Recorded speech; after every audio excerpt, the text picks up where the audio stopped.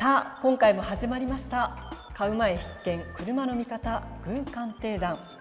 この番組は中古車を安心に楽しく賢く選んでもらおうをテーマに中古車選びでよく見かける車種をご紹介しながら車の状態の見方そしてここだけの話などをご紹介していきたいと思います。進行は私偶鑑定団の団員藤島智子がお届けいたします。そして車の見方を教えてくださるのはこちらの方。日本自動車鑑定協会で鑑定士を務めていらっしゃる小島さんです。よろしくお願いします。お願いします。さあ小島さん、はい、文鑑定団の団長としてこれまで何車種かご紹介していきましたが、はい、今回はこちらにあります3代目ノアをご紹介していきたいと思います。はい、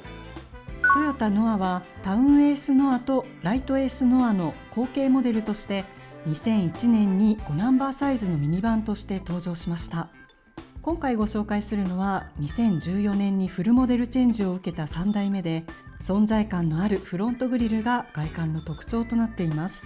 プラットフォームも一新され低床化を実現したことで広い室内空間と乗り降りのしやすさが高められました。パワートレーンは2リッターのガソリン車と1.8リッターのハイブリッド車を設定。手頃な大きさと価格で国産ミニバンの中心的存在となるモデルです。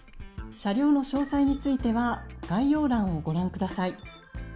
いかがですか？ノアどんな印象をお持ちですか？ノアはですね、まあ、よく見るお車ではありまして、えっとまあ、ノアとボクシーとエスクワイア、はい。はいはあのまあ、同じプラットフォームを使っているというところですね、えーまあ、構造自体は同じなので、えーまあ、それも含めて結構鑑定にはご依頼が多い車ですね。そうですよね、はい、では早速見ていきましょうか。はい、はい、じゃあ見ましょう。はい、お願いします。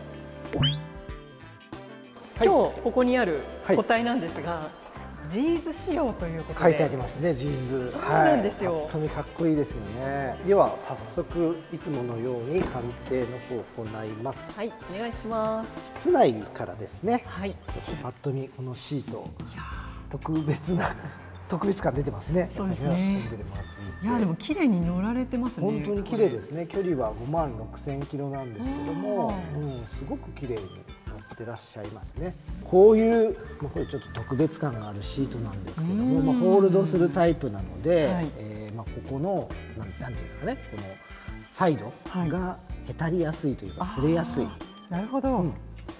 なので、まあ、こういうところはチェックはしっかりしますね。ジーズというグレードから見てもそれなりにこだわった方が乗ってらっしゃるので多分まあ当然綺麗に乗られてるっていうのがまあ、特徴なんですかね。なるほど、はい。でまあ、ちょっと軽く鑑定のポイントで言うと例えばこれはもう特に問題ないんですけども、まあ、このドアをぶつけたり交換したり、えー、ダメージが入ったりするとお、まあ、骨格にダメージが入っている可能性がありますというところなんですけども例えばサイドはこういう、まあ、ピラーというんですけども、はい、ですね、まあ、ここを修理もしくは、えーまあ、ダメージが入った場合っていうのが、えーまあ、修復歴というふうに扱われて、はい、えー、まあ、車の価値が下がりますというところですね。骨格の部分ですね。骨格の部分です。まあ、これまあむき出しというか、はい、まあ普段はこうドアに隠れてるんですけども、ここぶつけたらここへこみやすいですよね。あ確かにそうですよね。例えばこれを丸ごと交換する場合もあるんですよね。えー、これを丸ごと交換する場合はこのスポット溶接っていうんですけども、はい、この溶接を外して、うん、こうバカッとこう外す修理をやるんですよね。な大手術をするんで。僕らはまあこういうスポット、えー、溶接部分を見て判断をしますね。あとこのホイールすごくやっぱりこうメッキ加工されてかっこいいじゃないですか、まあ、ジーズのホイール。そうですレーズ製ですからねすごくいいホイールだと思うんですけども、はい、まあ、残念ですけどもここにも傷が入ってちょっと気になりますよね、はい、なので、まあ、こういう、まあ、ホイールの、まあ、高い車というかあいいものに関してもしっかりチェックしていただくっていうのが修理するとね結構なお値段かかると思いますので、うん。まあ、気にしていただく。フロント見ていただくともう、えー、もう結構、えー、残量というかですね、はい、溝が少ないので、まあ、偶鑑定の場合はタイヤの溝もチェックしておりますので、はい、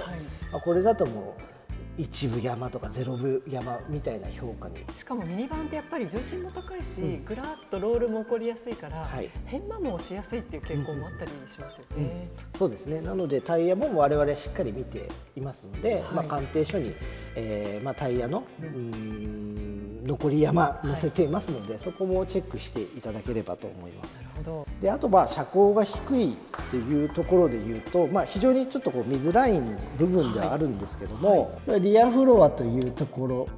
にダメージが入ると修復歴になりますよ、あそこも一応そっか骨格なんですね。骨格なんですよ。で、えーまあ、よくあるのが、はい、まあ、タイヤ止めとかにですね、うん、こうバックしてここをぶつけるみたいなところがあね、ありそうですね。もうそれだけでもう修復歴扱いになってしまうので車庫入れは丁寧にしないといけないですね。しっかり後ろを見ていただく、はい、はい、ですね、まあ、なので、まあ、ちょっと今回、えーまあ、ちょっとこう深い話になったんですけども、はい、まあ、よくぶつけやすいポイントであったりとかですね、うんうんうん、まあ、こういった、えーまあ、特別な車あと、まあ、こういう車高が低い車っていうところの、はい、まあ、チェックポイントをお伝えできたかなというふうに思っております。なるほど、はい、はい、今日もありがとうございました。というわけでトヨタの3代目ノアをベースに今日は見ていきました、はい、いやでもあの団長いろんな写真見ていく上でも、はいうん、まあ、ミニバンならではのポイントもあったんですけど、はい、やっぱり車に乗ってた方がどんな性格なのかっていうのが結構大事なんですね、ね、おっしゃる通り乗る乗られた方によって使われ方も違うので、まあ、そういったものを想像してみるっていうのもいいかもしれないですね。はい、偶鑑定では、なんかそういったところの鑑定士が見た情報もちゃんと出てるわけですね。そうですね。はい、我々あの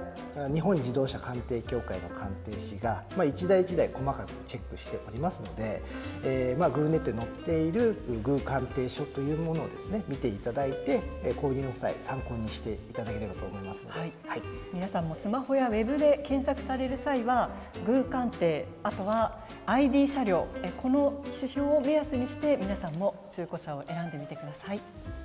というわけで団長、はい、今日は3代目のはお届けしていきましたが、はい、今日の格言をお願いいたします。はい、えー、では今日の格言、えー、タイヤもしっかりチェックしてください。買った後のランニングコストだいぶ変わりますからね。高いですからね。はい。というわけで買う前必見車の見方偶鑑定団今後も皆さんが気になる車の情報をお届けしていきたいと思いますのでぜひコメント欄にコメントお願いします。チャンネル登録もよろしくお願いいたします。では次回もお楽しみに。団長今日もありがとうございました。さよなら。どうも